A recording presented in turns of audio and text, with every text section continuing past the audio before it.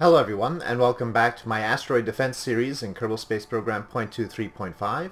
Been a while since I've done uh, episode in the asteroid defense series, mainly because I was caught up doing stuff in the realism overhaul set of mods, especially trying to get to Mars in that. Uh, not Duna, because realism overhaul is readjusted for real solar system. But uh, yeah, so that, that's been a little bit tricky and uh, occupying some of my time. And also there's been the EDB series where I launch rockets in a realistic manner. But anyway, uh, so I got caught up in those things. But I am looking forward to dealing with some of the missions that we've launched here. Uh, we've got the four Jool missions here, as you can see. And I want to see what's going on with our man mission. Okay, it looks like it's fine. On a good trajectory. I've decided and with consultation from Kerbal scientists that we probably don't need to bother with the asteroid that's uh, coming in. Can we focus on things here? Uh, Kerbin? Okay, well that's good enough. Uh, yeah, this asteroid here. It's a Class B, and I think we're going to declare that Class Bs do actually break up in the atmosphere, that they're not going to pose a problem to us. Um, it's got to be a little bit too tedious to aim at every single asteroid that comes in. And the Class Bs, 4 meters to 7 meters, really are so small that I think we can safely ignore them. I'm going to mainly be concerned about Class Ds and Es, because after all they pose more of a challenge. And uh, while we've taken care of a lot of Class Ds, is uh, mainly the class we've been aiming for, uh, we haven't actually seen a Class E, I think, so I'm going to be looking forward to that and seeing how much it is. The Class Ds are all around 600 tons, and so what is a Class E? So we'll uh, save our save our rockets, our uh, asteroid intercept rockets for a Class E and see if we can tackle that challenge because that'll be a new challenge. Tackling a Class B is not really a new challenge. I think we all know I could knock this out of the way without any particular problem. So, on that note, the thing we need to do in this episode is launch for Duna right? Because Duna is, is pretty much where it needs to be at for this sort of thing. Uh, maybe a little bit off here, but it is time to launch missions to Duna. So let's go to the VAB and see what I can cook up. The Duna mission will launch on top of the IBA launcher since once you've made a super heavy launcher you you ought to get your mileage out of it. And, well, I, I've thought about uh, making fairings, but I'm lacking the parts that I would like to use for that. As you can see, practically none of the panel parts, nor even the wing parts that would be most suitable for it, uh, are present. So we're going to have to do some more science in order to get the parts we need. And in fact, I checked, we only have 79 units of science right now. So, we're going to have to deal with this sort of open structure here. I've tried to... The struts are mainly for show rather than for... and that symmetry didn't work out quite right. Uh, show rather than for uh, structural integrity. Oh, the ladder is sort of... Oh, alright. I'll just leave that as it is. A little bit of asymmetry. Uh, I'm sure it might annoy... Uh, might annoy me even, but uh, we'll leave it for now. Okay, so as you can see, I've even attached Science Juniors here, just in case we can do some of those. The Well, the configuration is as follows. This is the return vehicle. I expect that the IBA launcher will be able to send us on our uh, trajectory to Duna, and then, and even bring us into orbit around Duna with this portion here, at the very minimum. And so this entire structure is going to go over there and this is going to be the return vehicle. And it'll also have to do some maneuvering in orbit to dock with everything. This is the Ike lander and this is the Duna lander. The Ike lander doesn't have goo containers. I've kept it spare so that we can uh, well, so that we can have a different lander basically. Uh, The Duna lander had enough... Uh, well, I mean, I, I could have made them the same. There's, there's no reason why they couldn't be the same, except that I wanted to try something different. Oh well, and sometimes... Oh, I think I missed putting lights. Sometimes it's interesting to try different modes in the same mission, and that's what we're going to be doing here. Uh, yeah, we... Well, that light might collide with that. Let's put the lights there, maybe. Ugh, sticks out a little bit.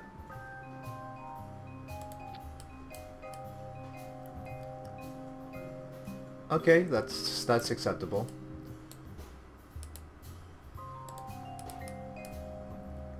So I'm starting the lights on, just so that we get some of that. And these are on as well. Good. So I put the Science Genius here and we'll transmit that data if necessary. We're clearly not going to bring this back. I just didn't see anywhere to, even as it is, it's not exactly the most streamlined thing on the on the system and maybe I should shove them down a bit to make them look a little bit more reasonable. Uh, that's mildly better. Can't attach them to here or these because these probably drop off before we get to Duna or anything like that. Okay, we've got little thermometers, barometers. We don't have uh, uh, the gravitation one. So, what is it called? Ah. Grav... Negative gravioli thing, right? Something like that. Alright, but you get the idea. So what's going to happen is we're going to be carrying three Kerbals, and then one will go in here, one will go in here to do those respective landings. Let's see now. Whoop. Action groups. I don't think we need anything. I think we're all good. I think the pods themselves have enough control wheel power. It looks like our crew will be Mackin Kerbin, Edbal Kerbin, and Mitgun Kerbin. Fair enough. We'll just start out like that.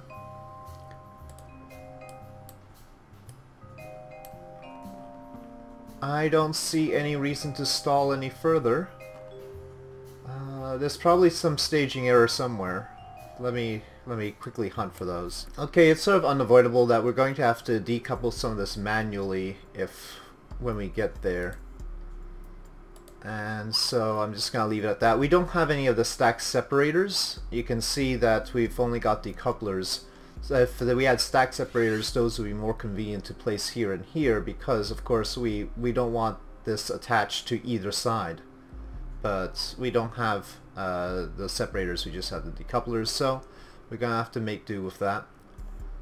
Stack separator technology is apparently quite advanced. I moved these back up because I think they were interfering with the fuel line, or at least it looked like that, so I'm going to keep it like that. Oh, uh, one thing we can action group is solar panels on this. Yeah. Alright, so I think we're ready to go. We've got our crew, we've got our rocket, and we've got our encounter with Duna. So let's save and take her out. Not the most elegant rocket I've ever devised, but on the bright side, it is actually very bright because of all the rock, uh, lights that have been turned on. So yes, it is bright, so that is the bright side. And we're all set, SAS on, throttle up. You'll notice the monopropellant is not full, and that's because the tanks on the landers are only partially filled. I wanted a little bit more monopropellant, but not a lot more, so just a little addition to... Oh, did I remember to put RCS ports on the lander? Uh, on the... on both landers? Yeah, okay. That seems to be a thing. Okay, get the camera back. There we go. Alright, so everything looks good. The Kerbinauts look copacetic. And light and launch.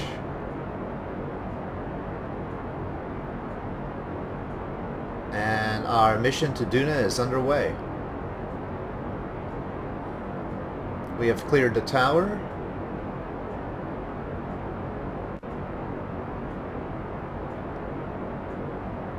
All systems look nominal.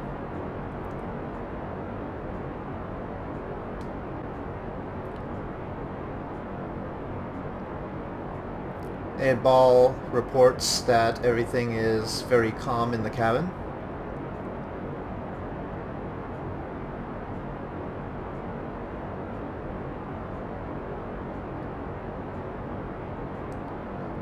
Actually looks like they're not entirely sure that they've taken off or not. It is a very smooth ride so far.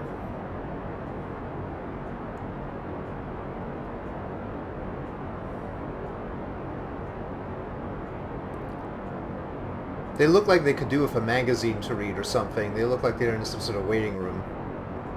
Just sort of staring at the wall. These three are really three peas in a pod. We Really should have found somebody like Jeb who would be uh, all, all smiles. It's got a bit of a wiggle.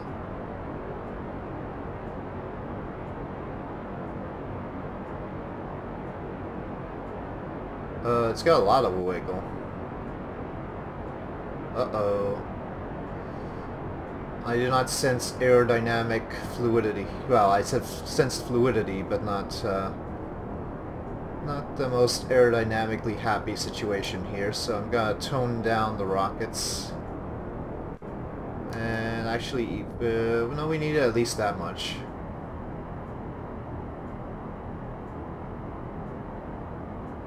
I think the guys in the cabin are a little bit more worried now. I think they suddenly realized they're part of a space mission. Wobbly rockets will do that to you.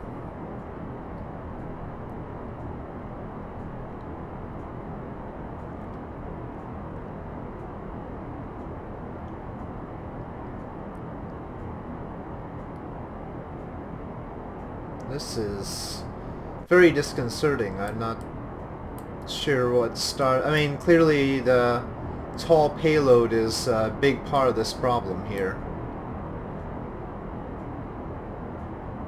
But also the sheer power of the engines, the fact that they're overpowered for the payload perhaps, might be a thing.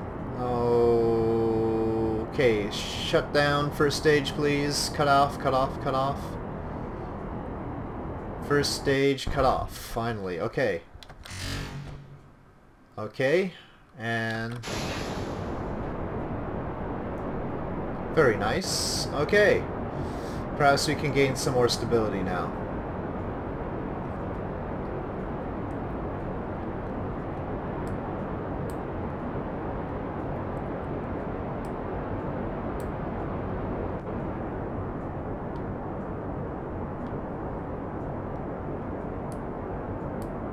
Well, Mackin is looking positively happy very confident now. Let's begin plotting for Duna. Since I too am very confident.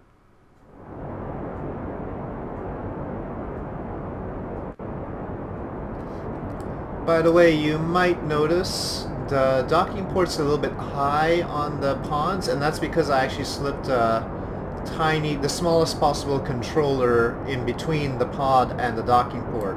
I hope that's not too much of a problem, but it's it's good to be able to control them even when they don't have a Kerbal in, just in case.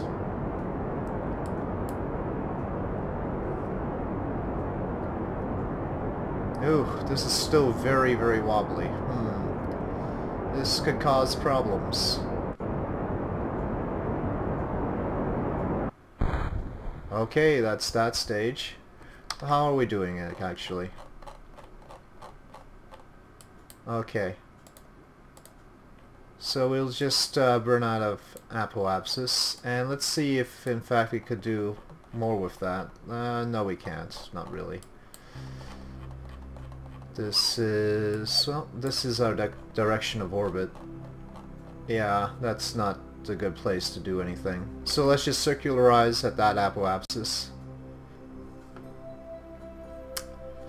So, uh, actually I want to hang on to these while I turn because there are reaction wheels on these but not on some of the other portions of this. So I'm gonna take advantage of the reaction wheel power we have before I ditch this stage. Seems like it's probably a good idea to extend solar panels. We seem to be slightly depleting electric charge here. We've got all those lights on after all. Okay, I think we're lined up, so I'm going to wait till it settles down and then release the spent stage. So of course wiggling a bit. No, it's going a little bit further than I thought it should. Come on, stability. Now I haven't added any reaction wheels to the payload. I'm just relying on the reaction power in the pods.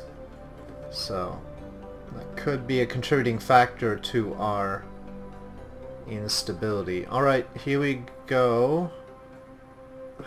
Let me just check staging for a sec. Hold on. Um, this is a very complicated sort of situation we've got here. Yeah, I guess that's right.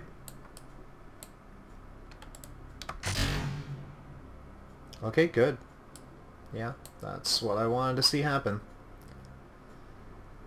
So that portion will return into the atmosphere. No problems there. And let's time warp. Uh, throttle. Okay, we are now in orbit.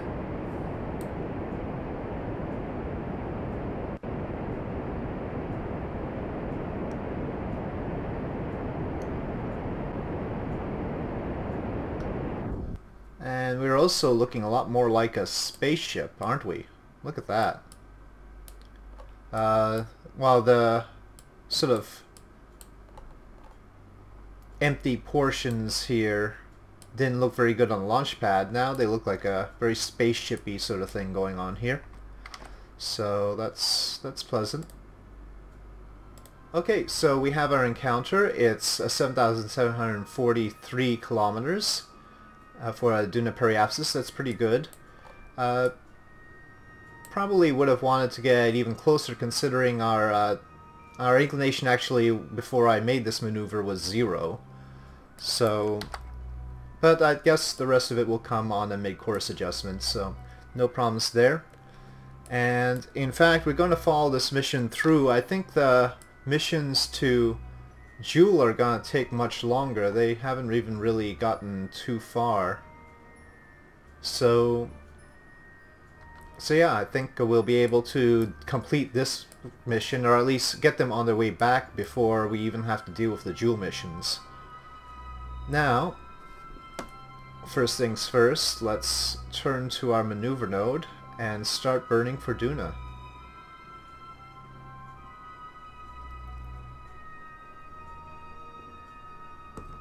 Once again, I have to keep an eye on these tanks because otherwise, I, well, no, I, I guess I would be able to see here whether they're out or not.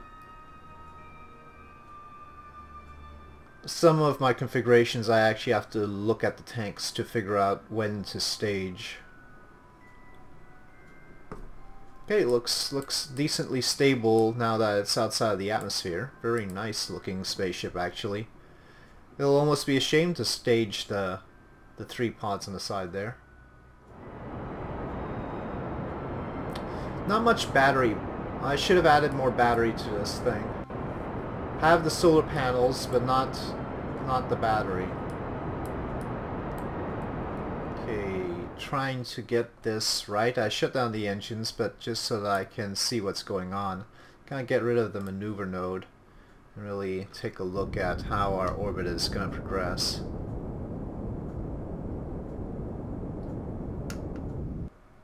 Okay.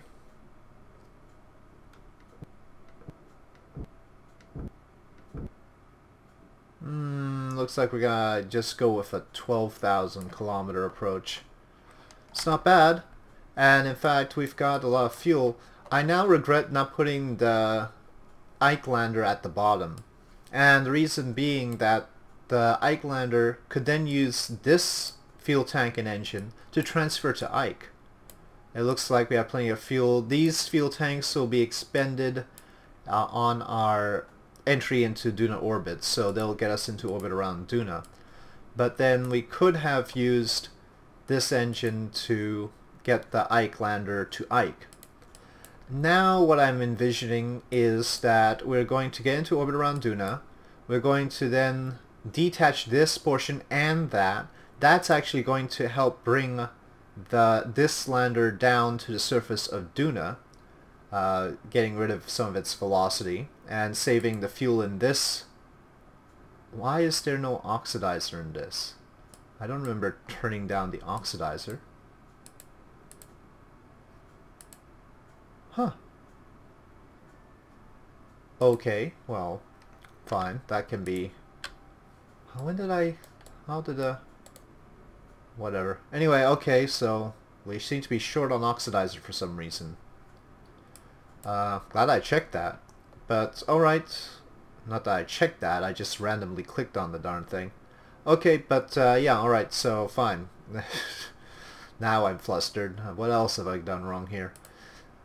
But, uh, yeah, so now this will help bring this down. And then this all of this will probably transfer to Ike. This will land on Ike, then rendezvous with that pod. Then this will return to Duna to rendezvous with this.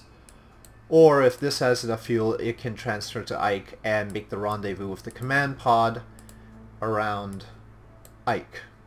So those are, that's our mission model right now. That's the plan. And luckily everything is going to Duna intact except we're a little bit short on fuel. So let's actually take this out in this episode to... We've got enough time here. Take it into interplanetary space, do the mid-course plane change, and then bring it into the sphere of influence of Duna.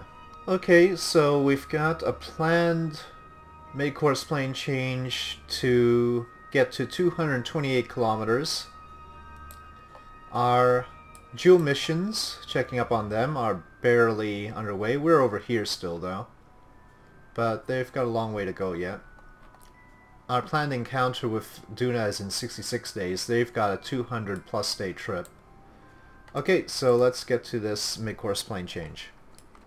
So you see the situation here now. We've got our four Jool sojourners on such a trip, and of course the man mission is getting there quicker.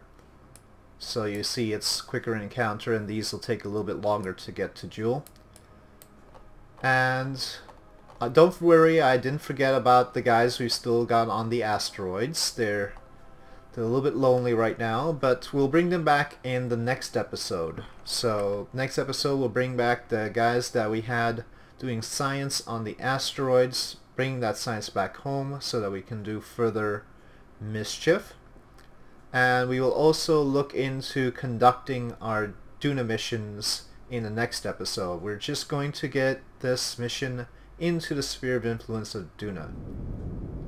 Very carefully. The timing is not so sensitive. The delta V is.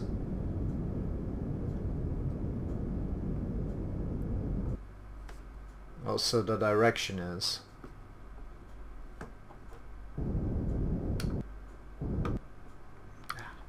Okay.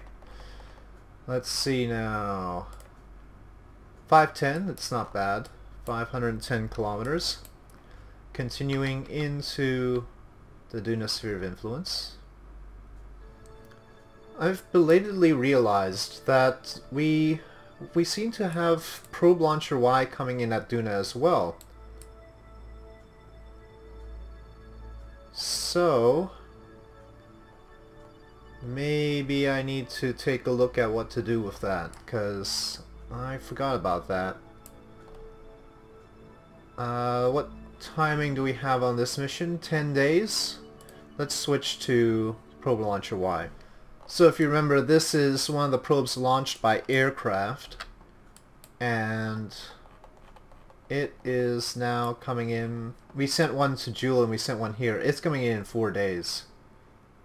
So let's take care of this one first. Or, oh no, that's that's its plot. When is it actually coming in? Oh no, we forgot to do its mid-course plane change. I passed its mid. Oh, I hope I don't do that for the rest. These other guys are still before their mid-course plane change. Um, so I missed its mid-course plane change. Okay. Can we do anything to correct that now? 256.6. Whoo. And that's in six days. Okay. Well, we'll we'll try that. Shame I just lost track of this. Yes, uh, Kerbal Alarm Clock. If uh, if I was using mods, Kerbal Alarm Clock would be a thing.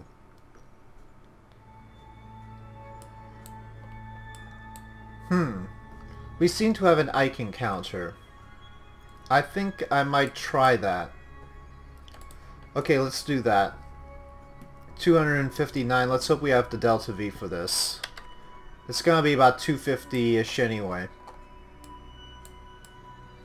So either we've got it or we don't.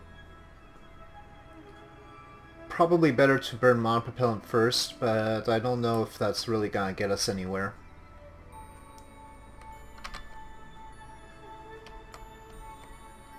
Okay, well we have to wait for five hours anyway.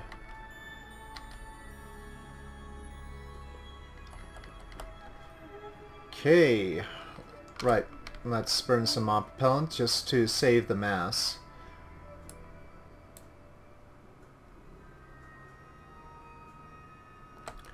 Not bad, but let's keep the rest just in case. And burn using the main engine now.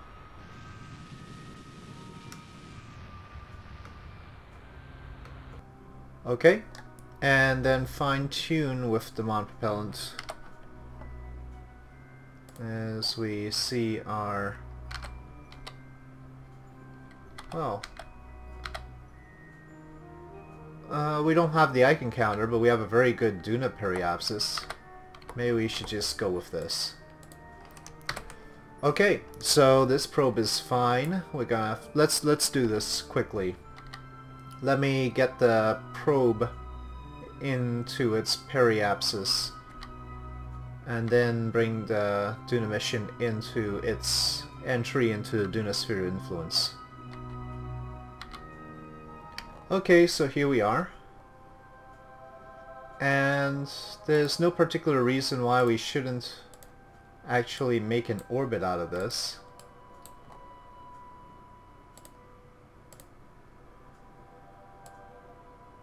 Oh no, wait, this is just a barometer, isn't it? What have we got on here? Yeah, it's just a barometer, I think. So we need to transmit that in oh and a thermometer. So we need to transmit that information back to Kerbin as this smashes into Duna. We'll set a maneuver pretty close to Duna so that we can get... Uh, there's no point doing a barometer and thermometer reading around Ike anyway, so... We wanted to eventually hit Duna, but we don't need it to go down too fast. And so... That'll do. Somewhere between that and that. Yeah, that that's good. Five kilometers sounds like it'll definitely crash into Duna, but not too quickly. Alright, uh, before I lose track of our man mission, let's see how long it has. We're going to be crashing into Duna in about 13 hours. Okay. Will let me select? Yes, okay. Alright, this mission has its Duna encounter in four days, so we're safe. Let's finish up Probe Launcher Y. So let's do this. We don't have to worry about the fact that it's less less in efficient, less efficient than it would be if I did the burn out here. when I'm doing the burn this close to Duna because efficiency is hardly an issue when you've got this much fuel and you plan to have the craft smash into the surface. So we should be alright. Time warp. There's the red planet. Okay, here we go. We've got a lot of Delta V with this little guy.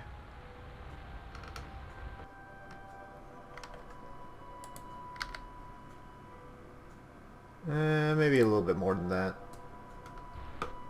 Okay.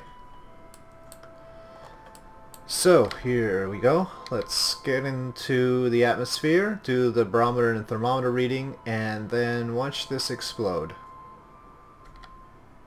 Oh, transmit the data first.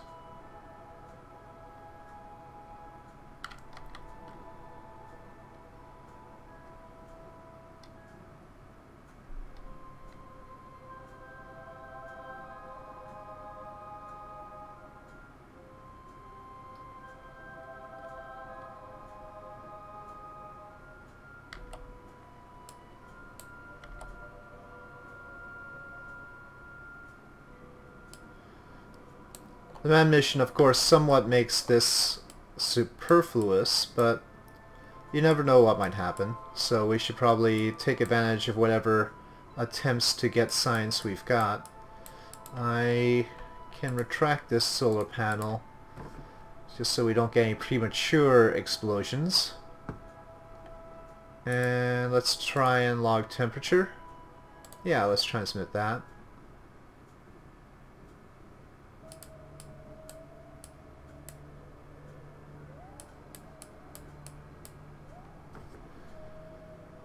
Our uh, barometer? Let's see if that's doable. Not right now.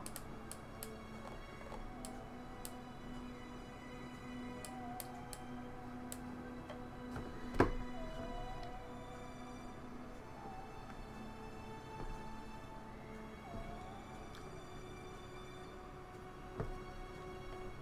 want to keep this solar panel in the sunlight. That's the same one.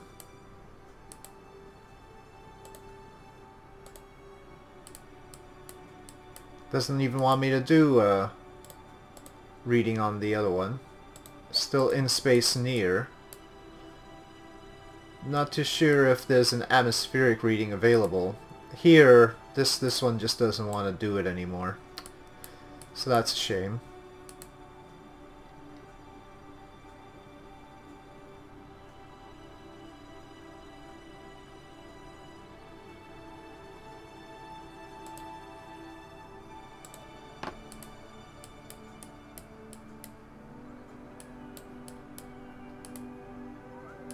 Nope. Once the barometer fails, it fails permanently, apparently.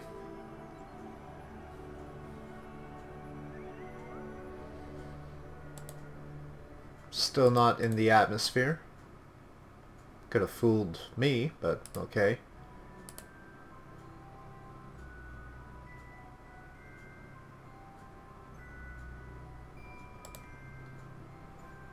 Okay, well it doesn't look like there is an atmospheric reading for the thermometer around Duna. But we, we're definitely going to be able to check that out all the way to the ground. Oh, there we go, flying at Duna. Okay, transmit that.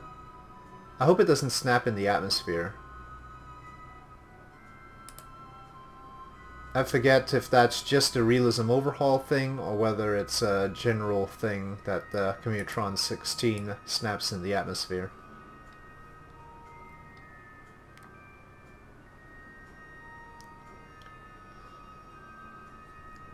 Hey, uh, do you suppose we could do one at the surface?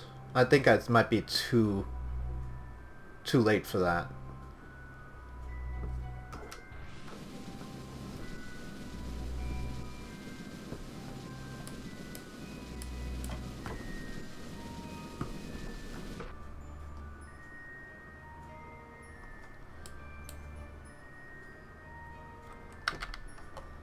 We're definitely gonna come back down.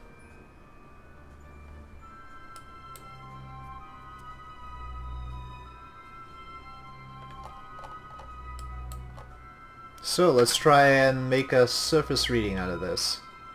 Of course, we've got the man mission that also can do, handle that part, but, you know, while we're here...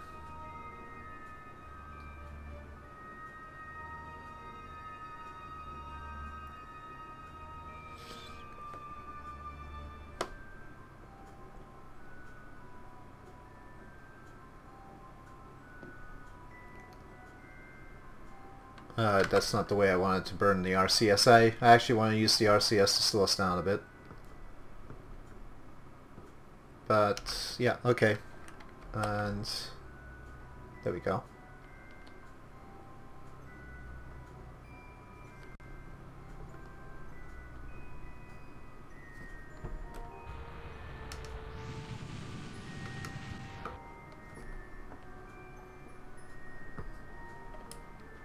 Can't really tell how high we are we're at right now.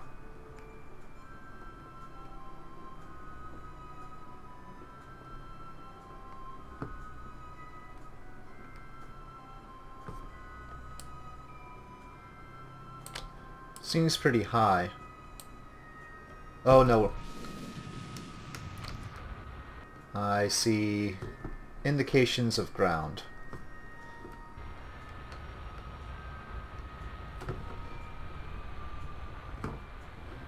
Uh, okay, this is trickier than I envisioned. Okay, that's fine.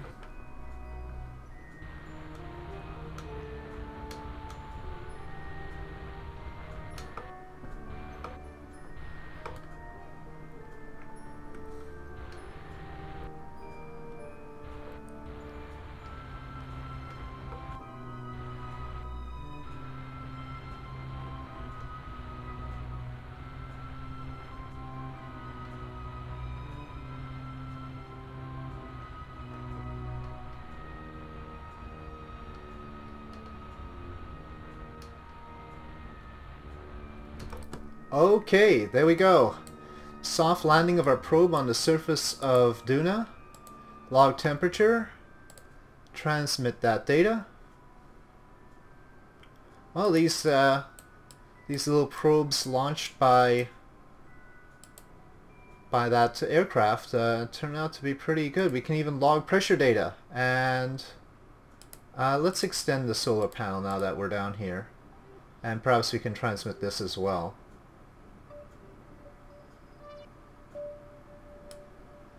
I don't get the feeling we've got much sun. Do we have enough energy to transmit this? Not enough electric charge. Okay, our probe is sort of tilting over right now. The Communotron 16 seems more resilient than normal. Uh, okay, uh, well without ours, without uh, electric charge I can't control it and stop it from spinning here. Okay, but uh, this is this is good. I think I'm not gonna stick around and wait for it to recharge. It's down here. If uh, we decide we really need the rest of the barometer reading, we'll come back to it. But it, yeah, it's safely on the surface of Duna. Turns out we landed a probe on Duna unexpectedly. And so maybe the probe that we've got destined for Laythe, we can do the same. That's an interesting point, isn't it? Laythe has a nice thick atmosphere to slow us down. So maybe we'd be able to... Oh, we sent a little bit more. Is that right? Anyway. Focus, focus. Let's switch to our main Duna mission. So I'm just going to get these guys into the sphere of influence of Duna, and then next time we'll get them into orbit and uh, perhaps start looking at the the activities we'll need to do. And also, I want to get those guys back from those asteroids around Kerbin. So here we are. Alright, uh, current periapsis 530. And I'm going to save all of what we do around Duna for the next episode. We're probably going to adjust our inclination because we want to be able to do activities with Ike. So the first thing to do is probably an inclination adjustment. And then we'll continue from there in the next episode. So, a uh, few surprises, and we've dealt with our missions successfully so far. Probably gonna have to look into those mid-course adjustments on these guys. Uh, probably past the one for the the man mission to Jool actually. That's a little bit unexpected. I didn't get the uh, I didn't expect him to get this far this fast. Okay, lots to do in the next episode. I better remember everything. Alright, so thank you for watching. If you enjoyed this video, please do press like. If you have any comments, suggestions, please leave them in the comment section below. And I'll see you next time.